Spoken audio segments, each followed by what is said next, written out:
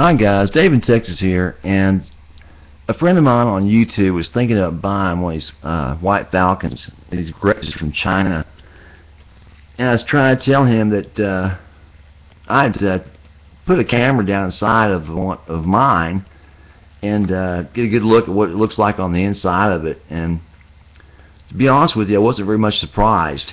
Uh, I've already looked on the inside of a 355 and a 335, pretty much the same guitar.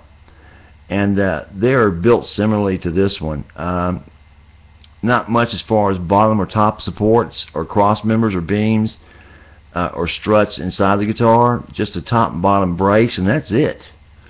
Now this one in particular has a uh, long neck uh, that goes into it. So I can show that to you without too much trouble.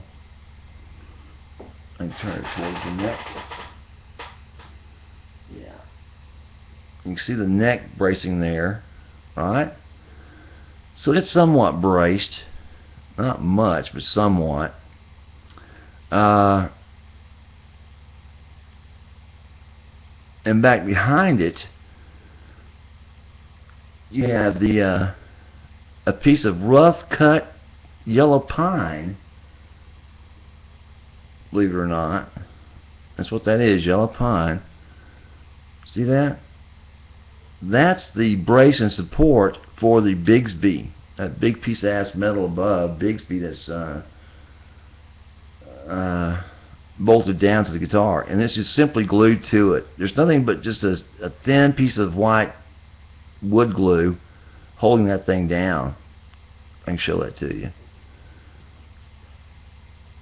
Come on. Darn it. There it is. That's it. And it's got holes in that. It's not seamed properly. And cheap glue, yeah, they'll come loose sooner or later with some, you know, some temperature, some humidity. It'll pop loose, and this whole thing will come loose.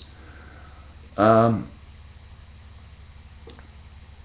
electronics, I've changed those out for Gibson. You can see the long shaft Gibsons that are in there. Uh, there's not even any supporting for the, uh, what you call it, for the uh, uh, jack. I got my finger back there covering it up and open and stuff, showing you the light behind it. There on the left side of the screen. There's no wood back there even to support the jack going in and out. Just it's still just the body and the uh, metal of the jack itself. That's it. So how much more piss poor can you make a guitar than this one and charge 400 bucks for it? And again, this is why I didn't order this guitar someone sent this to me and tried to bill me for it. You know, it really pisses me off because after looking at the ES335 and 355, I knew that this would be total junk.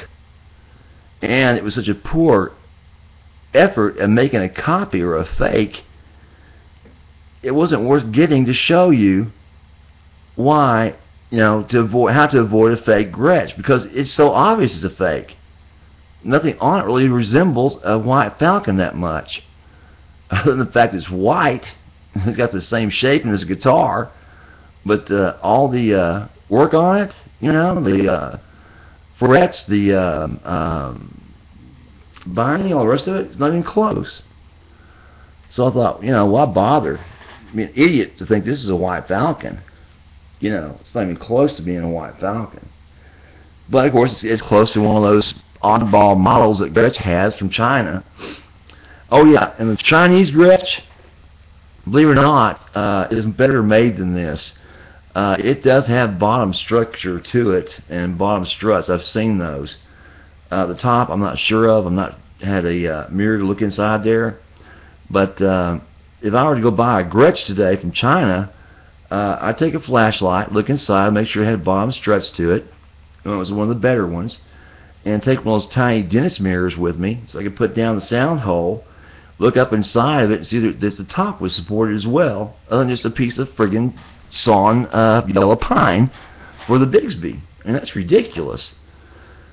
Anyway, you any questions about this, uh, before you buy one of these fakes, give me a holler. I sure can save you a lot of time, money, and, and uh, grief.